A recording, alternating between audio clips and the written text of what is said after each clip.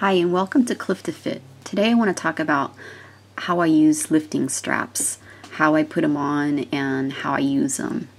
And right here is the right way where the strap lays in between your finger and your thumb. It lays flat in between your finger and your thumb.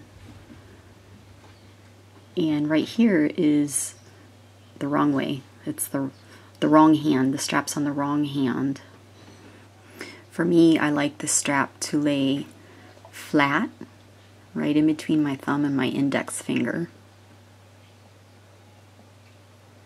And if you get it up too high on your wrist, um, they kind of tighten and dig into your wrist. So for me, I like it down a little bit lower, right, right at the bottom of my wrist, kind of over part of the top of my hand.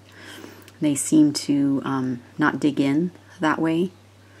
So um, you always want the bar in between your hand and the strap.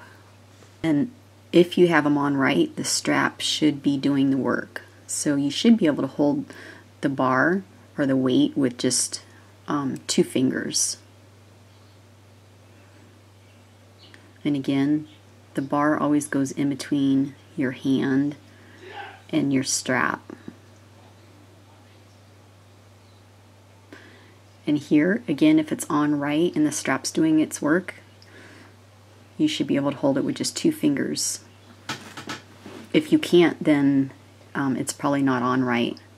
So again, whichever grip you take, this is an overhand grip. See how the bar is in between my hand and the strap. I always wrap towards my thumb too.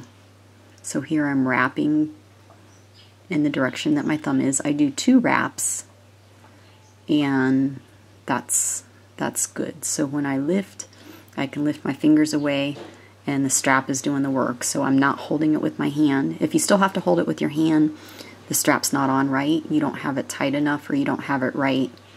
So the whole purpose of the strap is to have the strap do the work so your forearms and your arms don't give out.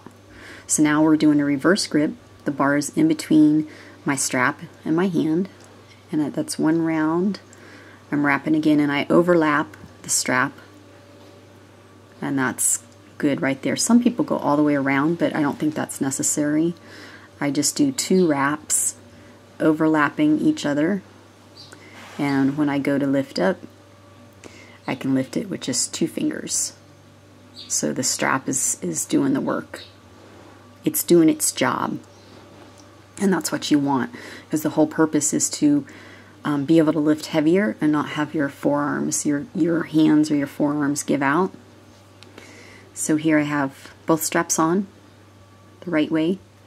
And in the beginning, you can put like an L and an R on your straps so you know which one goes on which hand. Here we're doing an overhand grip. Got the straps on and they're doing their job because I can lift my fingers away and use just one or two fingers. The straps are totally holding the weight, so I'm not using my grip in my hands. Now we're doing a reverse grip. Same thing, the bar goes in between my strap and my hands, and on the reverse grip, my thumbs are pointing out, so I'm wrapping towards the outside. I'm wrapping towards my thumb. I always wrap towards my thumb. That way the strap lays flat. And again, they're doing their job because I can lift my fingers away and the strap's holding the weight. I hope you like this tip and have a good day.